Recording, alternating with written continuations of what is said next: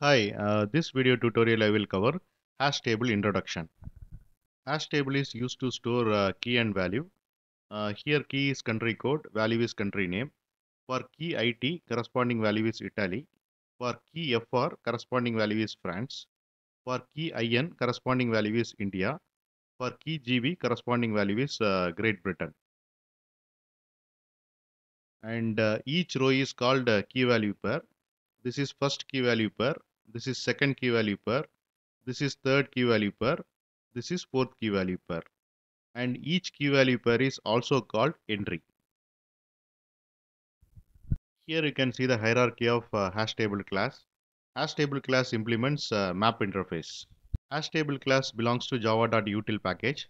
Uh, here you can see k comma v. k is nothing but uh, type of keys which we are planning to maintain in the hash table.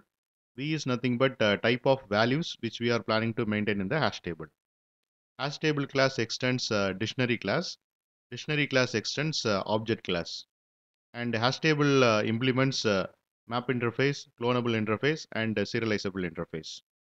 Subclasses of uh, hash tables are properties and UI defaults. Hash table can be used to store key and value pairs. For a given key, we can find the corresponding value. Keys must be unique, but uh, values can be duplicated. And hash table won't accept uh, null key or null value. Hash table is uh, synchronized. To successfully store and retrieve objects from a hash table, the objects uh, used as a keys must implement the hash code and uh, equals methods.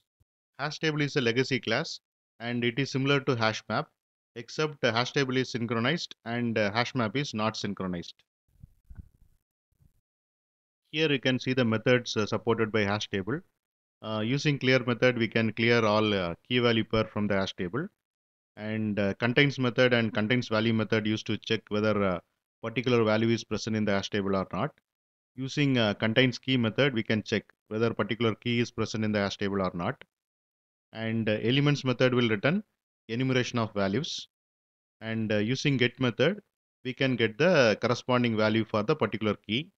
And uh, using isempty method we can check whether hash table is empty or not. Using uh, keys method we can get uh, enumeration of uh, keys.